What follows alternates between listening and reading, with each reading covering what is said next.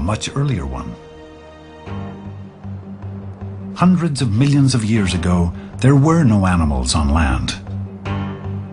Before then, all our distant ancestors lived in the water. So at some point, you had the shift from life in water to life on land. That's a huge change. It was the moment when fish crawled out of the water and onto land. If these early animals hadn't made the transition, we wouldn't be here today. And it's important to understand how and when and possibly where that transition took place. The first creatures to leave the water really started something. Their descendants eventually evolved into today's reptiles, birds, and mammals. And these creatures' common origins are still visible in their bodies. Just like us, they all have bodies with four limbs. They're all tetrapods. What that means is that all these different creatures are descended from a common ancestor which had something very similar or akin to, to limbs.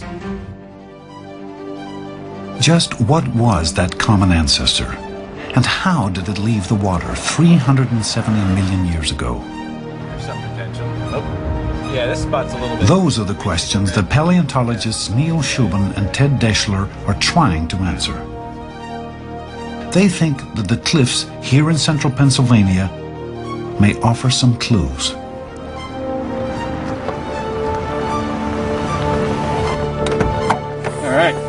Good day for fossils. What do you say? Great day. Let's find some. All right. Hey, Doug. Hey, you doing? How's it going? Good. Good trip up. What'd you say we go over here? Good. Did some good digging in today. An unlikely spot to hunt for early tetrapod fossils. Treasures are for us today. But they're here because the rocks in these hills are just the right age, Yeah, laid down during the period in Earth's history called the Devonian. Yeah, it's really good. Back in the Devonian, this place was very different. It was south of the equator. Remember, the continents are continually moving around. And back at this time, we're actually dealing with a much more tropical climate in Pennsylvania. Hundreds of millions of years ago, the fossils and sediments in these layers were collecting on the bottom of a stream.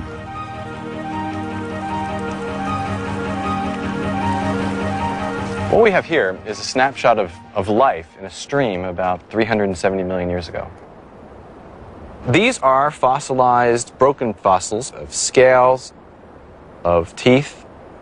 This little bone here, uh, it's a spine of a creature known as a spiny shark. Most of the fossils are too fragmented to be of much value. But in 1995, right at this spot, Daeschler came across something he had never seen before. It was a small shoulder bone, but not from a fish. It was a tetrapod shoulder, 370 million years old.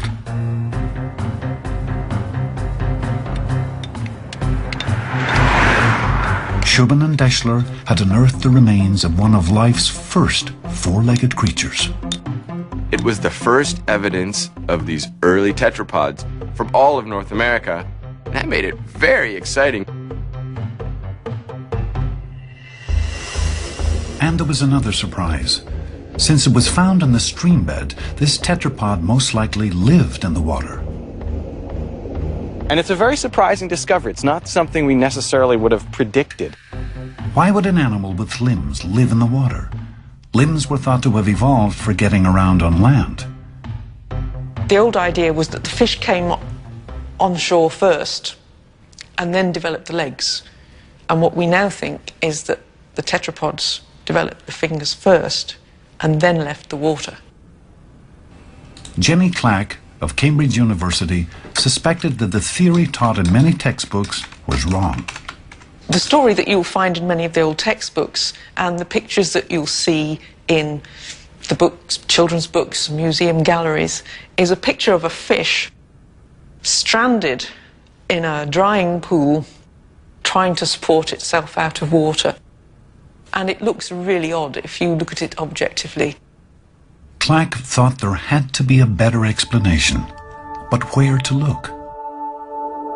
Only a handful of early tetrapod fossils had ever been found, most of those in a remote part of Greenland at the turn of the century. All she had to guide her was a note, scribbled in a journal from a scouting trip to Greenland years earlier. It referred to tetrapod fossils on an unnamed mountain. Clack flew to Greenland to search for those bones. Eventually, we found the spot 800 meters up on the hillside.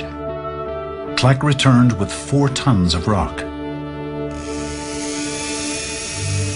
and spent the next four years drilling. At the end, she had the most complete early tetrapod skeleton ever found, and it forever changed the textbooks. One of the first things that we found was this forelimb. At the end of the animal's limb was an unmistakable array of bones.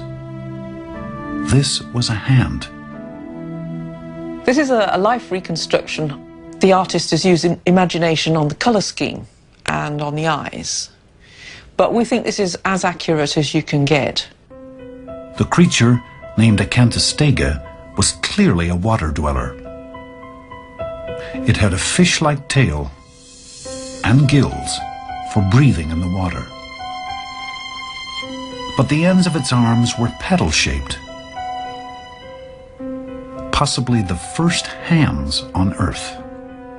This was a swimming creature we don't know whether it could ever have come out on the land, but it certainly wouldn't have walked in the conventional sense. Basically, it's a fish with fingers. Clack's find was a scientific breakthrough. It proved that some fish had arms and legs in the water. So tetrapods didn't need to grow limbs after they got onto land. Limbs had already evolved and helped them survive out of the water. The basic pattern for limbs had been in place for millions of years. Here we have the fin of a 370 million year old fossil fish and an arm of a human. In a human arm, what you have is one bone, then two bones, the wrist, and the digits. In this fin, what do you have? You have one bone, two bones, even little bones that can be compared to a wrist, and then rods that face away uh, from the rest of the appendage itself, just like our fingers or toes. So you have, in a fish fin, already set up about 370 million years ago, many of the bones that are used in a tetrapod limb.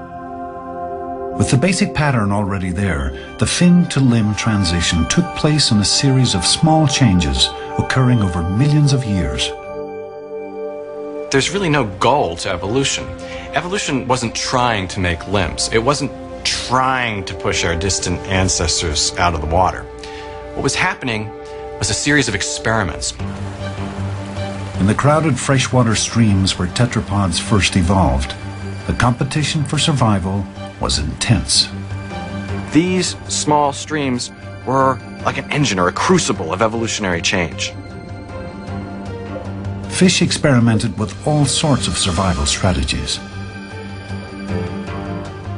Some became predators. The owner of this jaw was a 12-foot long killer.